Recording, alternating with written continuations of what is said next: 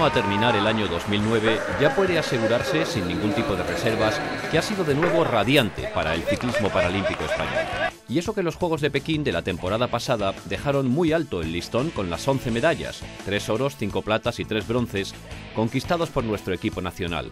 Pero lejos de relajarse en esta temporada post-paralímpica, los corredores españoles han firmado un 2009 sencillamente brillante. Los campeonatos del mundo de este año han sido los primeros tras la integración del ciclismo de discapacitados dentro de la Real Federación Española de Ciclismo y se han disputado divididos entre las pruebas de pista y las de carretera. Las de ruta tuvieron lugar hace poco más de un mes en la localidad italiana de Bogoño, cerca de Milán, y allí España logró nada menos que 14 medallas, 3 oros, 6 platas y 5 bronces. Los de pista se han disputado hace unos días en una localidad de tan acrisolada tradición paralímpica como Manchester y la expedición española, formada por 20 deportistas, 17 hombres y 3 mujeres, se ha traído de la ciudad inglesa nada menos que 12 medallas, 6 de plata y 6 de bronce. Ha sido una competición de altísimo nivel, como demuestran la cantidad de récords del mundo batidos. Estamos en una instalación de referencia, el velódromo de Manchester, y aparte de la buena actuación que ha tenido la selección española, pues yo destacaría el trabajo que debemos imitar de lo que se está haciendo aquí en esta instalación de referencia. Tal vez la sorpresa más agradable de los mundiales fue el tándem de José Enrique Porto y su nuevo piloto, el olímpico José Antonio Villanueva. Los madrileños subieron en dos ocasiones al podio. En la prueba de velocidad se proclamaron subcampeones, superando el récord de España, y además se colgaron el bronce en el kilómetro. Pero no fue la única gran satisfacción que nos dieron los corredores ciegos o deficientes visuales que corren acompañados de un ciclista vidente, porque Cristian Benge y David Yauradó alcanzaron la plata, aunque rozaron incluso la medalla de oro en la prueba de persecución, la única en la que participaron. Inmejorable fin de temporada para el dúo catalán, porque un mes antes en Italia ya se había proclamado campeón del mundo en la contrarreloj de carretera.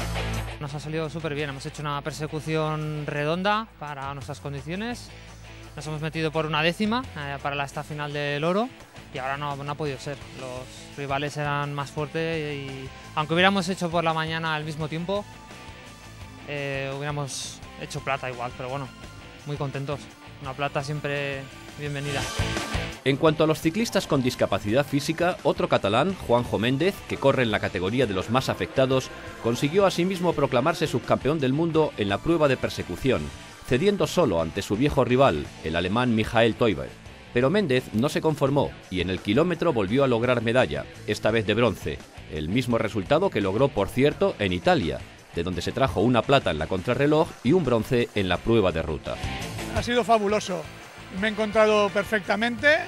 He superado el récord de España 7 segundos de la persecución y en el kilómetro que hacía muchos años que no triunfaba, bueno, no hacía medalla, he logrado una de bronce y estoy pues contento.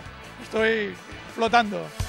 También obtuvo un subcampeonato mundial otra discapacitada física barcelonesa, Raquel Acinas, en la prueba de persecución, donde solo fue superada por la estadounidense Bárbara Buchan. Un paso adelante más en la superación individual de esta barcelonesa, que ya ha pasado los 30 años, después de subir por primera vez a un podio de una gran competición hace un mes en los Mundiales de Ruta de Bogoño. Y siguiendo con los discapacitados físicos, otra medalla de plata fue para el almeriense Pablo Jaramillo, que se proclamó subcampeón del mundo en el kilómetro. Gran resultado, aunque tal vez le supo a poco porque se quedó a solo dos décimas del oro, que fue para el alemán Mark Bistow.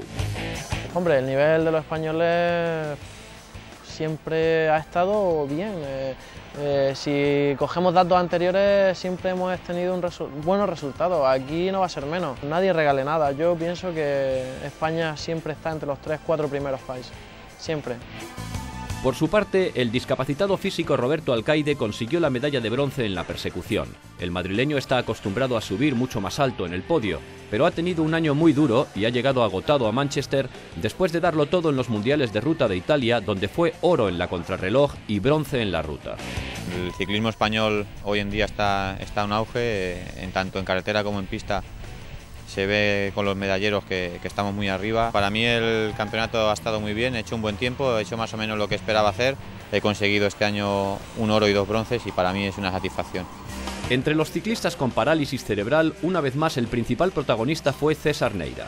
El de Cadalso de los Vidrios conquistó el subcampeonato en la persecución solo por detrás del italiano Michele Pitacolo. Así que una plata más para añadir a la que se trajo hace un mes de la contrarreloj de Bogoño.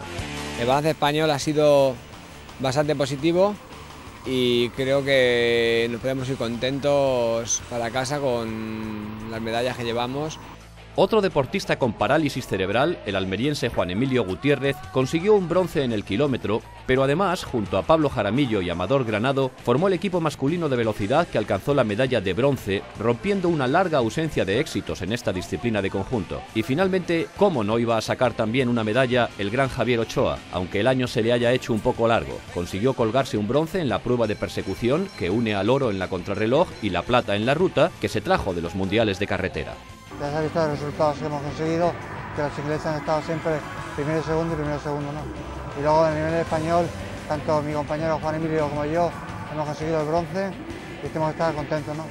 De modo que 12 medallas, 6 de plata y 6 de bronce, logradas por el equipo español en los Mundiales de Pista de Manchester, que añadidas a las 14 medallas, 3 oros, 6 platas y 5 bronces, que se trajo hace un mes de los Campeonatos del Mundo en ruta de Bogoño, en Italia, suman un total de 26, 3 oros, 12 platas y 11 bronces.